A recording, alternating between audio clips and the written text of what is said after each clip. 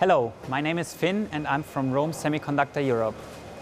Today I want to introduce uh, new silicon carbide Schottky barrier diodes which are available especially for applications which require a high voltage resistance and a large current. The ultra-short reverse recovery time of silicon carbide Schottky barrier diodes enables a high-speed switching, which is impossible with normal silicon Schottky barrier diodes. This minimizes the reverse recovery charge and contributes to miniaturization and also reducing switching losses.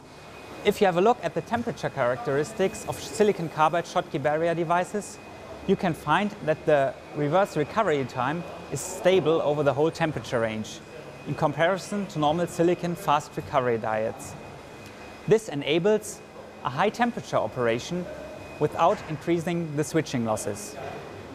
ROHM offers two different kinds of rated voltage lineups. One is 600 volts, the other 1200 volts. These two ranges are offered with different rated currents so that the designer can choose the corresponding part. The packages in which our devices are offered are TO220 and TO247. In addition to this, ROHM is also developing a new lineup.